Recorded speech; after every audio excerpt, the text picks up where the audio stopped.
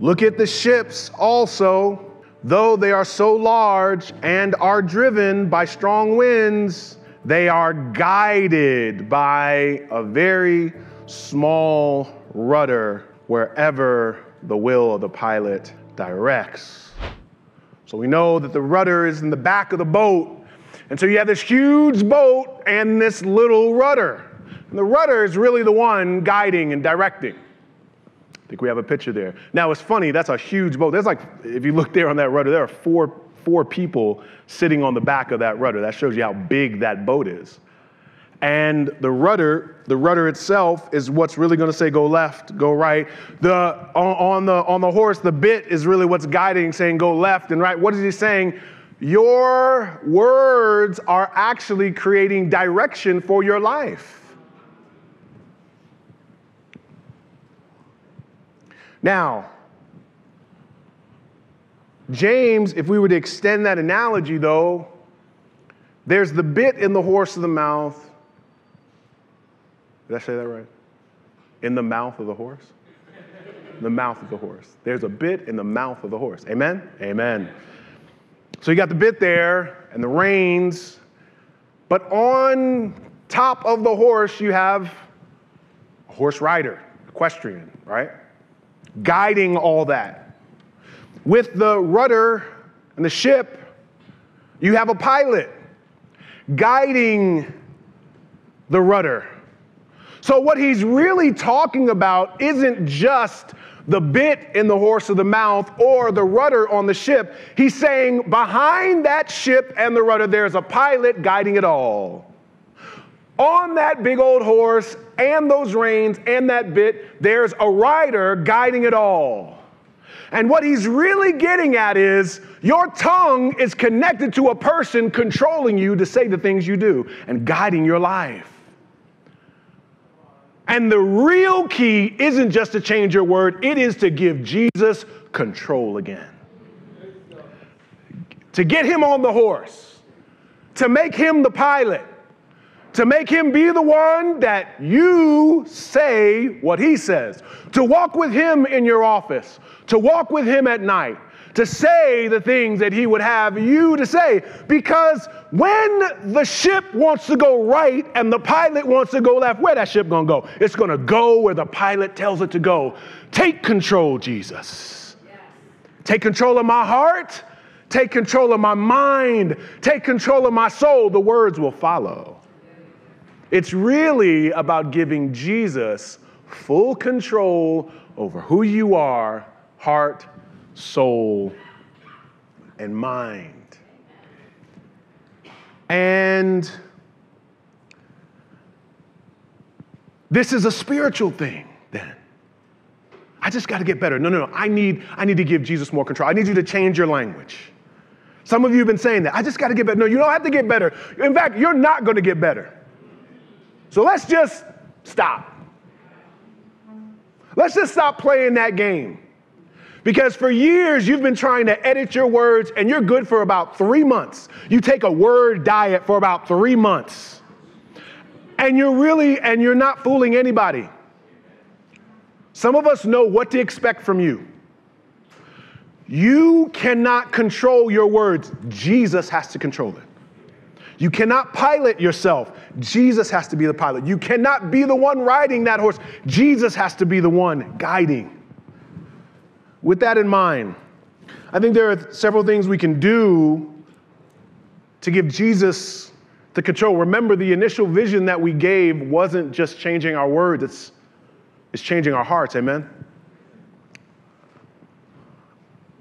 One of the first things that we have to do is we have to observe and admit that we are in a world of negative communication. Uh, Romans, Paul would say that all have turned aside. Together they have become worthless. No one is good, not even one. Their throat is an open grave. Tell us what you really think, Paul. They use their tongues to deceive. The venom of asps is under their lips. Their mouth is full of curses and bitterness. Now, what is he saying? He's not talking about nine to five relationships. He's talking about when you really observe how people talk, the news, our news feeds, our friends, our family, our relationships, in those unedited moments, what we generally find is people promote fear, they promote anger, they promote jealousy, they promote comparison.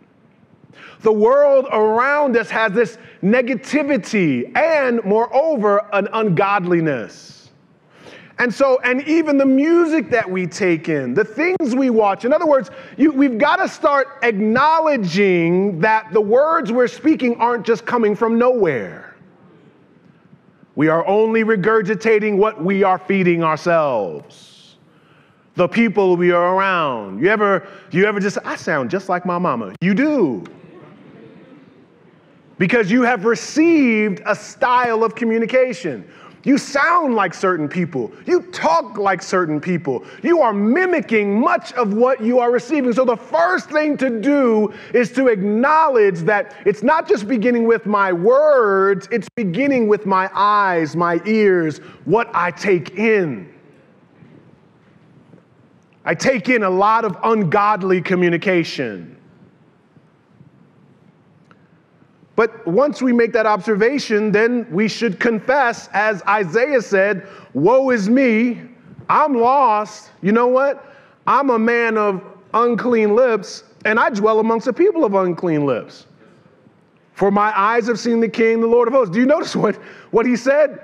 He said, Man, these people, man, these people sure are negative. Man, these people got unclean lips. But what did he start with? But I'm a man of unclean lips. And so we don't want to presume that the world around us is corrupted and we have not been tasting that corruption. I am a man of unclean lips. No, I am negative. No, I gossip. No, I lie. I have a problem. The problems aren't out there. The problem is right here. And I'm having a hard time controlling my words. And so, what we must do is have some humility about this area and really just have some dependence and repentance. The psalmist puts it this way, and I wonder if you all would join me in getting this psalm in your spirit. Amen? Let the words of my mouth, would you say that? Let the words, say that again. One more time. When he says, let the words of my mouth, he is actually saying, I need you to put words in my mouth. You've got to give me words. Because on my own, I can't stimulate enough godly thought from my mind to my heart to my words. Let the words of my mouth. Then he says, and the meditation of my heart. Say that with me. And the meditation of my heart. One more time. And the meditation of my heart. Notice he doesn't just say words, but he says the meditation that's happening. There is something that is I'm contemplating on a heart level. Then, lastly, he says, be acceptable in your sight. Say that with me. Be acceptable in your sight. One more time. Be acceptable in your sight. Now, let's put all that together. Let the words of mine and the be. So, whose sight am I concerned about when I walk into a room? Whose sight am I concerned about when I'm in a private room? Whose sight am I worried about when I'm texting one on one? Whose sight am I worried about in the quietness of my frustration when no one's going to know whose sight?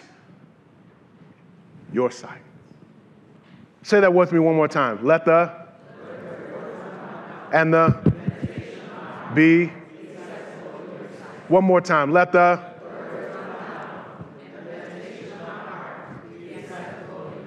Now, saints, we all stumble in many ways, don't we?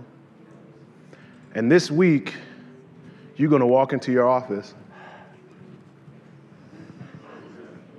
and you're going to have a big joker moment. Boy, the big joker going to be right there. I mean, just a big joker. Just that person named Big Joker, they're going to be a big joker now.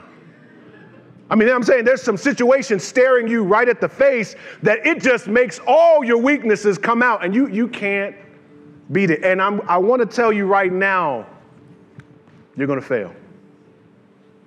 I'm, I'm just trying to tell you right now, there are places this week because we all stumble here that you, there's things you might not say, but there are things that you should have said that you won't say. So I just want to let you know that as you try to increase your efforts here, you're going to fail. And this is why the psalm goes on and says, O Lord, my rock. And the reason why the psalmist says my rock is it speaks to the unchanging nature of God. It speaks to the stability of God. Would you say, Oh Lord, my rock? My rock. That person didn't meet my expectations, but you are my rock. You are the most stable thing in my life. And as everything is corrupted and everyone around me is trying to corrupt me, you are my rock. But he also says, my Redeemer. A Redeemer is someone who is entrusted with releasing someone from oppression and harm or enslavement. A Redeemer restores the rights and the freedoms of someone. And so, look at this last psalm all together Psalm 19 and 4. Let's look at it all together. He says, Oh Lord, my rock, you're my rock. Let me go back to you, but you're also my redeemer. The things I said, you can free me from them. I do not have to be in bondage in this area of my life. Oh, I stumbled, but what did I do? I got back up. Let's say this all together. Let the and the be, oh Lord, and my, and, and this week, would you allow this psalm to penetrate at a heart level? To memorize this not at a word level, but on a heart level. And the way that you will memorize it, the way that you will bring this in, it is allowing yourself to engage the word in the right occasion and to let it strengthen you. And as you do this, we're going to Fortunately, unfortunately, this whole text is not done. We're going to come back to more of talking about taming the tongue next week. I know you're excited about that. But this is really about God's power to change you. I do not care how negative you've been, God can change your words. I don't care where you're from. I don't care what your mother was like. I don't care what your father was like. I don't care about, I don't care what you watch. I don't care what you take in. I don't care if you've always been that way. I know a person that can transform you overnight. Let the words of my mouth and the meditation of my heart be acceptable in your sight. Oh Lord, my rock. And if I fail, my Redeemer. Father, in the name of Jesus, we thank you for how you uniquely change us and make us more like you. So let the words of my mouth, the meditation of my heart be acceptable, Father, in your sight. Oh Lord, my rock and my Redeemer. God, I want to make you my rock. I've tried to make people my rock, and they just have not been able to be the foundation I need them to be. Lord, be my rock. And Lord, I've tried. I've really tried. I've tried to do better in my life. I've tried to be my own Redeemer, but I cannot seem to set myself free. Be my Redeemer. We ask this in Jesus' name. Amen.